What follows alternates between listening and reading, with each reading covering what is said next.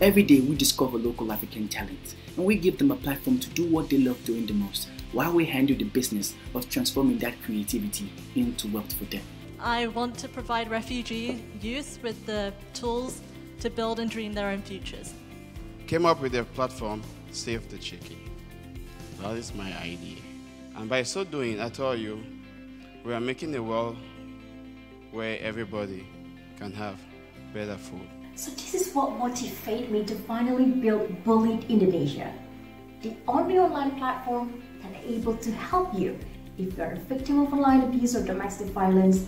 I want my innovation to reach every child without education and digital literacy till there is no child left behind.